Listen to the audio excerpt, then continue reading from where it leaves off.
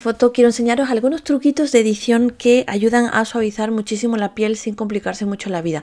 Es verdad que hay que tener cuidado cómo se usa, pero bueno, vamos allá. Lo primero siempre crear una copia, comando J. Y ahora que ya tengo esta copia, me voy a ir a filtro y vamos a abrir el filtro de cámara RAW. Aquí lo que vamos a hacer, vamos a ampliar un poquito la foto, es subir el enfoque de manera que sí, estamos enfocando mal la foto, pero ojo, se nos está quedando la piel horrible. Así que tenemos que hacer otra cosita. Y es que la máscara la tenemos que mover. Si no sabéis qué significa esto, fijaos, darle a la tecla opción o alt y veis todo lo que está en blanco es lo que se ha enfocado. Y yo no quiero que esté todo enfocado, yo solamente quiero algunas partes, como son los ojos, etcétera, de eh, la foto. Fijaos que ahora el enfoque ya no se nota tanto. Lo siguiente que tenemos que hacer es reducir el ruido. ¿Qué va a hacer esto? Que se nos ponga una foto súper suave. En, Lightroom es lo que llaman luminancia. Pero ojo, que como nos pasemos, pues fijaos la piel que se nos queda. Una piel maravillosa, pero esto no es real. Si os gusta ese estilo, adelante. ¿Por qué no?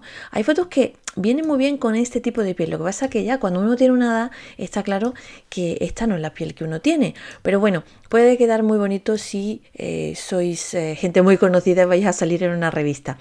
Pero bueno, yo voy a hacerlo un poquito exagerado para que se note. Fijaos qué piel más suave. Ojalá la tuviera. Pero bueno, eh, le damos a aceptar y lo dejo así. La foto ha quedado súper bonita, súper suave y a lo mejor me da por subirla así a las redes.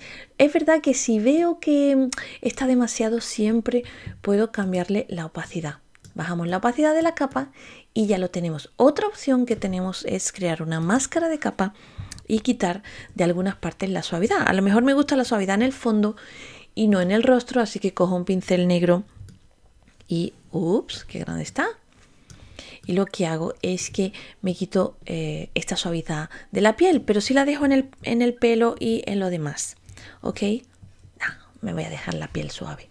Ok, hasta el próximo tutorial de la madre inspirada. Espero que os haya gustado este truquito. Hasta luego. Chao, chao.